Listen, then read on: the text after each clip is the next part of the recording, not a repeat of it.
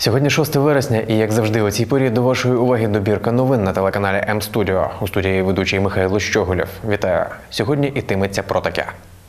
Міського голову Ужгорода суд вирішив взяти під варту із заставою в 440 тисяч гривень. Потяг Мукачево Будапешт в уряді вирішили запустити до кінця року. У Рахові четвертий тиждень ліквідують наслідки повені. День миру в Ужгороді відзначили з думками про жінок та безпеку.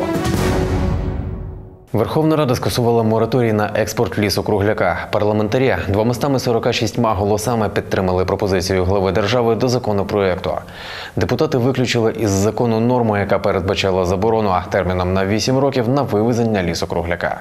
За інформацією Держлісагентства України йдеться про дрова. Нещодавно прийнятий закон, яким планувалося ввести додаткову заборону експорту дров, ветував президент. Це рішення порушувало міжнародні зобов'язання України, а також негативно вплинуло би на роботу лісового господарства. За повідомленням Держлісагентства, президент запропонував виключити норму про введення мораторію на експорт паливної деревини, встановивши захисні заходи, спрямовані на збереження українських лісів. Таким чином, закон щодо збереження українських лісів та запобігання незаконному вивезенню необроблених лісоматеріалів прийнятий без норми про мораторій на експорт дров. Міського голову Ужгорода Богдана Андрієва суд вирішив взяти під варту на 60 діб із визначенням розміру застави у 440 тисяч гривень. Таку міру запобіжного заходу обрав слідчий суддя Ужгородського міськрайонного суду. Таким чином, клопотання прокуратури задоволено частково. Детальніше про судове засідання далі. В Ужгородському міськрайонному суді яблуку ніде впасти. Громадські активісти, депутати міської ради, правоохоронці зібралася громада Ужгорода почути рішення суду з приводу клопотання про обрання запобіжного заходу тримання під вартою мера міста. Ваша честь, значить, я своїми діями користувався виключно законом України про місцеве самоврядування і своїми посадовими обов'язками. Прокуратура області підозрює міського голову в шахрайстві та службовому підробленні документів під час реставрації архітектурної пам'ятки Совине гніздо. Офіційно про підозру оголосили 29 серпня. В залі суду клопочуть ще й про двохмісячний арешт міського голови. Використовуючи свій майновий стан, свої соціальні зв'язки та авторитет, може здійснювати вплив на свідків, в тому числі осіб, які перебувають в його безпосередньо підпорядкуванні, з метою спотворення, знищення або штучного створення доказів, які мають істотне значення для встановлення обставин кримінального правопорушення, задля подальшого уникнення кримінальної відповідальності або з метою переховування від слідства. Андрію Бає підозрюється вчиненні кримінального правопорушення, яке відповідно до статті 12 Кримінального кодексу України відноситься до корупційного, особливо тяжкого злочину. Ознайомили суд зі своїми доводами та адвокати підозрюваного кажуть, доводи не аргументовані, а позиція прокурора зазначена тільки на словах. Захист вважає, ознайомившись з матеріалами справи, що е, ці статті вони не є необґрунтованими і притягувати до відповідальності мера міста Ужгорода за ними не можна, оскільки жодних кримінально караних діянь в процесі виконання міжнародної угоди він не вчиняв. І в суді стороною захисту також було додано відповідну експертизу, яка вказує про відсутність будь-яких матеріальних збитків, які би були спричинені як державі, так і міській громаді. До сих пір грантова угода виконується, зауважень ніяких ні у кої, ні в жодної сторони немає. Прийшов на судове засідання голова обласної адміністрації Геннадій Москаль виступив на підтримку Богдана Андрієва та офіційно зазначив, готовий взяти мера на поруки.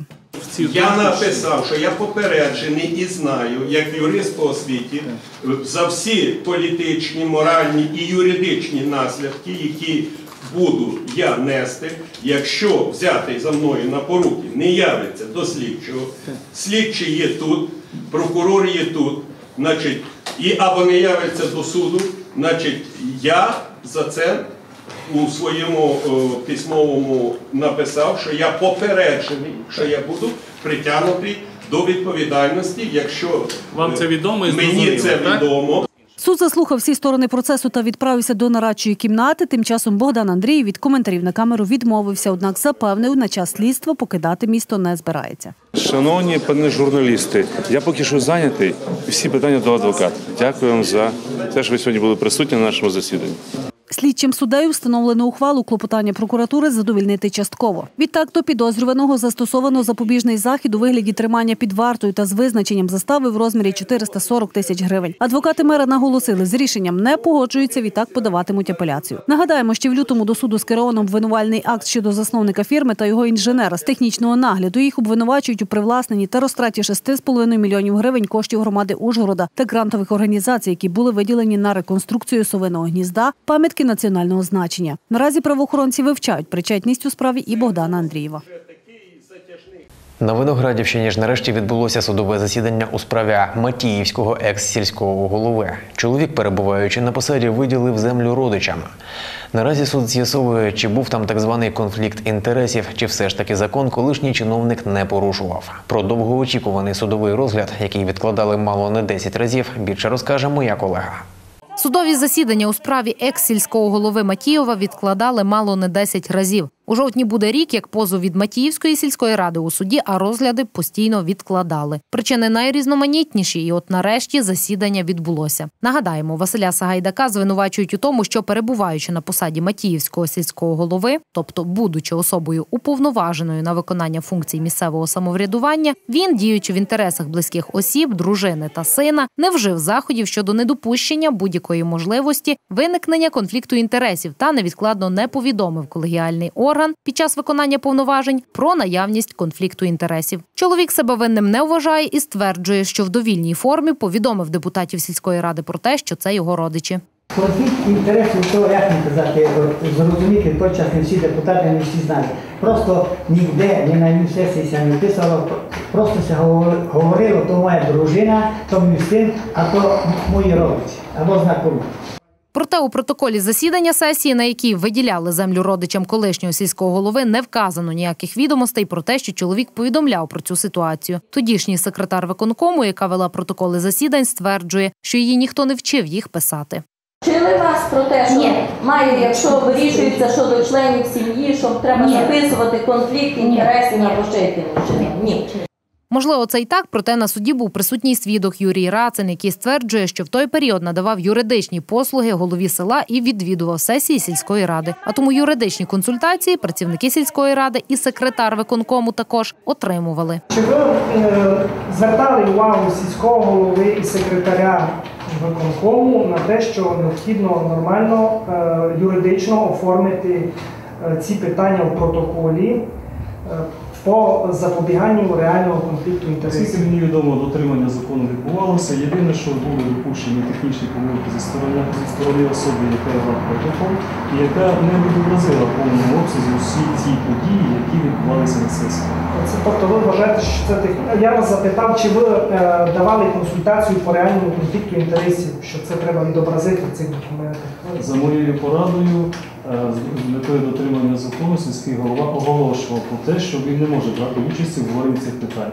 Але чомусь е, це не було відображено в протоколі. Ну, На так звані технічні порушення ніхто не звернув тоді уваги. Між іншим, свідок Полачик зауважила, що всі копії рішень виконкому вона носила у прокуратуру. І якщо порушення були, чому прокуратура на них не реагувала? І рішення всі, о, там не, не пам'ятаю від якого року, е, рішення сесії, рішення виконкому треба було носити в прокуратуру. Прокуратуру носилося рішення.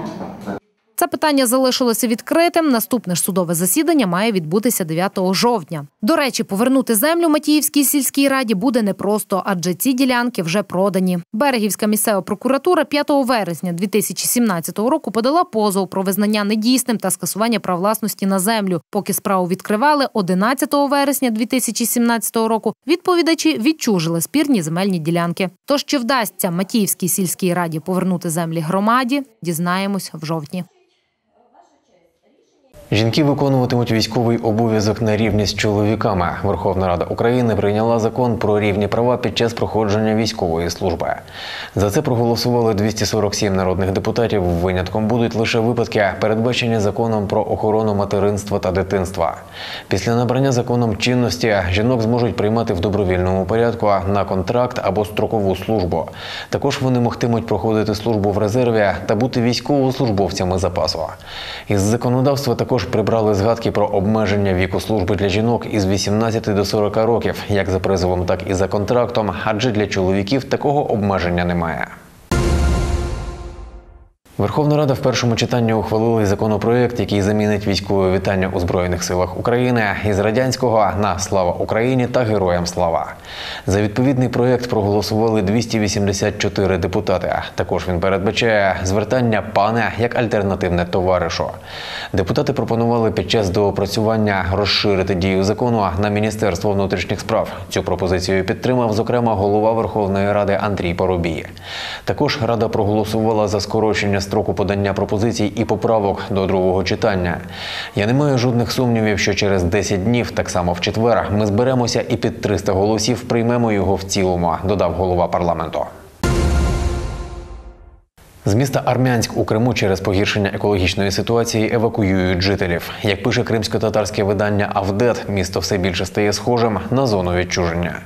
У місті паніка перший час батьки дітей не розуміли, куди мають намір вивозити дітей. Пише газета. Як відомо, в ніч на 24 серпня в анексованому Криму у місті Армянськ сталися викиди невідомої отруйної речовини. Згодом прес-служба Азово-Чорноморського регіонального управління Держприкордонслужби України повідомила, що на Херсонщині прикордонники зафіксували факт хімічного забруднення із території Криму з заводу Титана.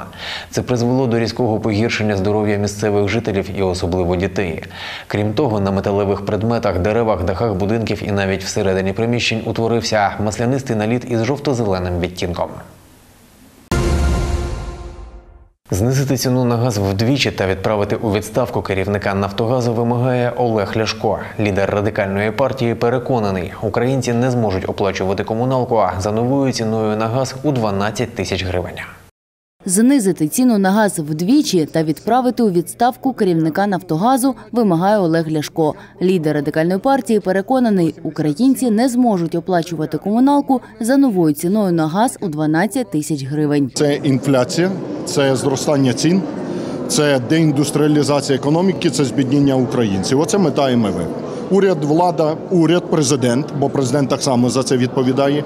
Президент Порошенко підписував меморандум, де брали зобов'язання про підвищення цін на газ і про продаж землі. Вони хочуть взяти кредит заради того, щоб далі грабувати людей. Ми проти цього. Ми стверджуємо, що є всі можливості знизити ціну на газ. Ціна на газ повинна бути справедлива. У нас сьогодні 4, 4,5 тисячі гривень за тисячу кубів, а не 12-13, як сьогодні пропонує влада. Перед тим як встановлювати європейські тарифи, треба дати людям європейські зарплати і пенсії, вважає Олег Ляшко. Натомість влада не лише не піднімає людям доходи, а ще й доступ до субсидій обмежує. Обурюється політик. Мільйони людей не знають, чи будуть у них субсидії. Субсидії, понятно, що це погано. Але коли людина отримує мінімальну пенсію, мінімальну зарплату, субсидія це єдиний вихід для того, щоб не е, піти з просягнутою рукою. Олег Ляшко вимагає від Нафтогазу припинити наживатися на українцях. Чому Коболєв отримує по 3 мільйони гривень зарплати у місяць? За чий рахунок? За рахунок бабів, дідів, безробітних, е, трудящихся, які останні гроші віддають, щоб Коболєву заплатити голові Нафтогазу 3 мільйони гривень у місяць і 45 мільйонів євро премії. Ми вимагаємо відставки Коболєва з посади голови Нафтогазу, зниження цін на газ і припинення дерибанення Нафтогазу. Хватить цим кобілінам отримувати такі космічні зарплати. У відставку мають піти і не грабувати людей. Прямий потяг до Будапешта з Мукачева в уряді планують запустити до кінця 2018 року. Про це заявив міністр інфраструктури України Володимир Омелян. Повідомляє прес-служба міністерства. Цього року я сподіваюсь, ми запустимо нове пряме сполучення Мукачево-Будапешт. Він вже майже готовий до запуску. Він буде надзвичайно успішний і матиме попит на ринку, сказав Омелян.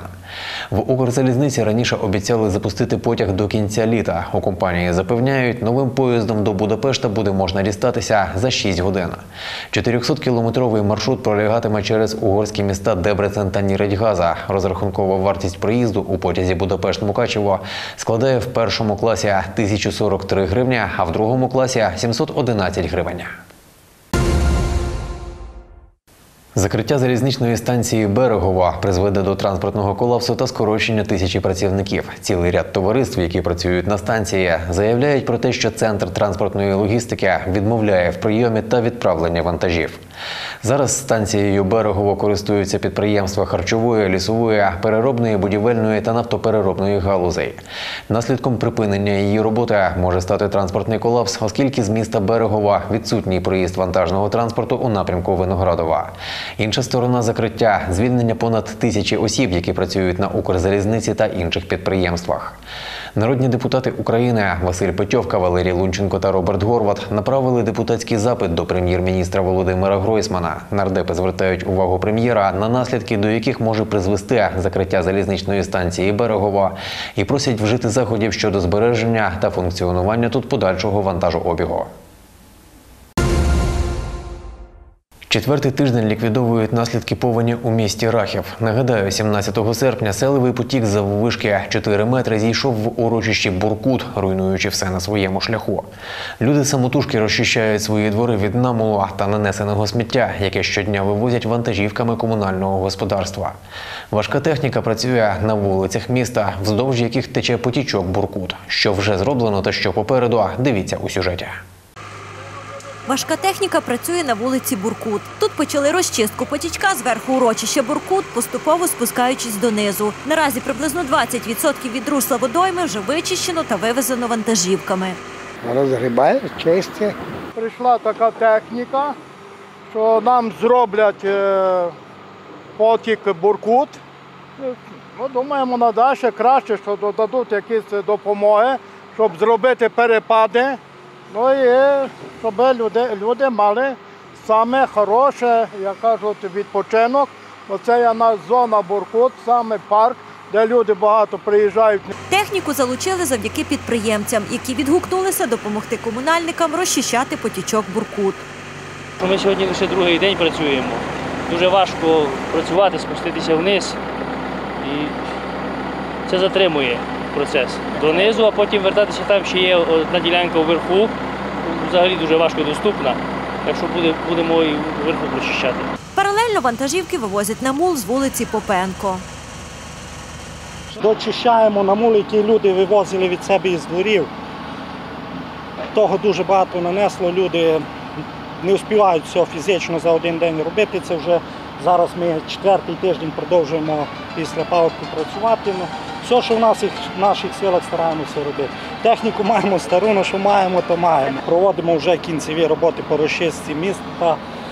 Богу дякувати завдяки нашим підприємцям, які відкликалися на допомогу, допомагають нам техніку, допомагають. 35 мільйонів гривень така сума збитків від стихійного лиха за попередніми оцінками. Крім державних установ, селевий потік пошкодив 130 дворогосподарств. Велике спасибі за допомогу народному депутату України Василю Васильовичу Петюху, який зразу відгукнувся і надав е, матеріальну допомогу на першочергові заходи для ліквідації наслідків стихійного лиха. Сесію міської ради виділено на першочергові заходи 200 тисяч гривень, і сесію районної ради виділено 300 тисяч гривень так само на першочергові заходи. Чекаємо е, кошти з обласного і державного бюджету. На останній сесії Рахівської міської ради депутати направили звернення до прем'єр-міністра України про фінансову допомогу для ліквідації наслідків негоди та виплати компенсації людям. Перелік об'єктів, які не підлягають приватизації, пропонує затвердити Закарпатська обласна рада. Відповідне рішення розглянуть на черговому засіданні сесії. Здебільшого у списку дошкільні та шкільні навчальні заклади, школи-інтернати, обласні медичні установи, державні організації тощо. Крім лікарень та шкіл-інтернатів, у переліку майно Закарпатської митниці, обласної наукової бібліотеки, Закарпатських муз драмтеатру, краєзнавчого музею та музею народної архітектури, а також аеропорт Ужгород. За літо бюджети Закарпаття отримали 900 тисяч гривень туристичного збору. І з початку року його сума склала 2,5 мільйони. Найбільше заробили Берегівський та Ужгородський райони. Кожен отримав понад півмільйона гривень. Дещо менша сума туристичного збору у Свалявському районі 473 тисячі. П'ятірку лідерів замикають Міжгірщина та Воловеччина. У головному управлінні Державної фіскальної служби в Закарпатській області зазначили, туристи не тільки сплачують збір від половини до 1% вартості проживання, а й сприяють розвитку бізнесу. У Ганичах Тячівського району зловмисники обікрали капличку, а далі підпалили її. Все трапилося дещо менше тижня тому. Зараз триває слідство, яке з'ясує, хто привласнив собі пожертви на храм і для чого було саме підпалом замітати сліди. Принаймні на це сподіваються прихожани та настоятель церкви. Вони ж не втрачають віри, що каплицю спільними зусиллями вдасться відновити. Вікторія Василинець далі про все у подробицях. На в'їзді у Тячівські Ганичі на пагорбі з підручних будівельних засобів збудували капличку. Навесні поточного року відбулося і освячення. Місцеві та християни із сусідніх сіл, а також районного центру, на чолі з отцем Юрієм долучилися до зведення храму. Започаткування цієї парафії в тому році було не легке, звісно. Усі, які були кошти, дещо робили. Однак їх численні зусилля наразі виявилися марними, нещодавно спалені вщент. Це сталося у 30 числа без 5-6 місцевого часу Києва, без 5 було 7, мені дзвонок. Отець Юрій казав так, у вас, каже, горить каплиця у Ганичах. Як? Пожар, каже. Я бігом сюди, прибігав я сюди на це місто. Тут вже стояла пожарна машина, ЗІЛ Нересницький, пожежна. І вже із цього вікна тушили. Полум'я було сильно велике. Я доходжу, входні двері не замикалися металічні, тільки замикалися в двері другі. Отець одразу помітив, що замок на дверях, які зачинялися, був зірваний, а скринька з пожертвами була розбита і викинута на подвір'ї. Також виявлено і пропажу інших церковних речей, які не горять. Все решта згоріло або дотла, або ж частково. Сантиміст не згорає, і Євангеліє не згорає. Ну лежить і складене повністю все. Там мощі святого. Не стало Євангелія, антимінса і на Христа. Требного. І на цьому все. Сьогодні були з Ужгорода експерти із поліції Ужгородської, дали все на аналізи, уголі, все таке. Пані Олена прихожанка спаленої церкви. Вона також очевидець пожежі, адже живе по сусідству. Тут половина шостого встала. Пішла в гараж, дивлюся, дим, дим. Да, в мене упав дим. Думаю, десь горить тут, тут щось горить. І я бігом, господи, а тут уже пожарна. Вже почала гасити. Мені так стало тяжко. Бо так ми трудили, так тут робили ми важко. Ну, як руками. Ну, ну все. Тож зловмисники обікрали капличку, а далі підпалили її. Все трапилося дещо менше тижня тому. Наразі триває слідство, яке з'ясує, хто привласнив собі пожертви на храм і для чого було саме підпалом замітати сліди. Принаймні на це сподіваються прихожани та настоятель церкви. Вони ж не втрачають віри, що каплицю спільними зусиллями вдасться відновити. Так плакали, як було, що близько, церква нам. А що тру- труд, а тепер осталися, можна сказати, голі босі. Нема ніч. Будемо починати робити. Яка буде, буде, яка по можливості зробить, щоб вона була. До слова, до підпалу у каплиці служили тричі на тиждень. Богослужіння свого роду освятили місце, де до будівництва храму траплялися численні аварії з летальними наслідками. Восьмирічна дитина постраждала у ДТП з вини п'яного водія в Ужгороді. Автопригода сталася на об'їзній дорозі по обіді 5 вересня. Водій вантажівки Вольва зіткнувся із Део Ланос. У легковику, крім водія, перебували його дружина та восьмирічна онучка. Саме дитина постраждала найбільше, її госпіталізовано. Поліція встановила, що водій Део Ланос здійснював маневр повороту, коли до нього ззаду в'їхала вантажівка. Водій Вольво, 39-річний житель села Ганичі Тячівського району, після зіткнення із автомобілем з місця аварії втік. Його розшукали. Виявилося, що він був за кермом у стані сильного алкогольного сп'яніння. У крові водія виявили 3,2 проміли алкоголю. Водія затримали. Обставини аварії поліція ще встановлює. Вісім пожеж за минулу добу зафіксували закарпатські рятувальники. Сім із них сталися в екосистемах краю. Найбільше горіло в Мукачівському районі, де зафіксовано три пожежі, ще два загорання в Ужгороді. Також по одному випадку зафіксовано у Воловецькому та Іршавському районах. Збитків ці пожежі не завдали, однак знищили понад 5 гектарів сухої рослинності. За повідомленням управління ДСНС в області, майже всі такі пожежі виникають через людський фактор. Необережно кинутий сірник, недопалок, тліючі вогнища, пустощі дітей із вогнем – це може призвести до того, що через декілька хвилин усе навколо палатиме. 21 вересня в Україні відзначатимуть День миру, але в Ужгороді цей день трохи пришвидшили. У рамках проєктів Голос жінки має силу та Сокоти свій варуш реалізують ще один мир, жінка, безпека. Під керівництвом вихователів юні ужгородці малювали картини на тему миру в місті, Закарпатті та Україні. Докладніше про все розкажуть журналісти М-студіо. Олена Іванівна працює керівником гуртка в одному з дошкільних закладів Ужгорода. Та замість попрямувати після роботи додому, вона йде до інших вихованців. На волонтерських засадах жінка вчить дітей творчості на гуртку в дитячій бібліотеці. Встигали, встигали. Каже, на уроці бувало до 15 дітей від 6 до 9 років і кожному приділяла увагу та вчила творчості впродовж 6 місяців. Такий цікавий проект. Я була здивована, що безкоштовно всі приладдя, і нам е, дали і приміщення, і все. Тому що творчо дітей ми можемо говорити, що виховувати як дітей, але якщо нічого до цього не прикладати, є такі сім'ї, що не мають змоги оплатити, наприклад, такі гуртки. І от такий був момент, що е, ми вели його цей от. Я вечором проводила. Спочатку ми виберемо композиційно, що ми будемо. От уявіть собі, що без того всього ми вибрали. Тема миру і поєднати з нашим містом. На сьогоднішній арт-терапії в Олени Іванівни учнів теж не бракує, хоча прийшли не всі. Я люблю малювати, як на мій погляд, у мене добре виходить.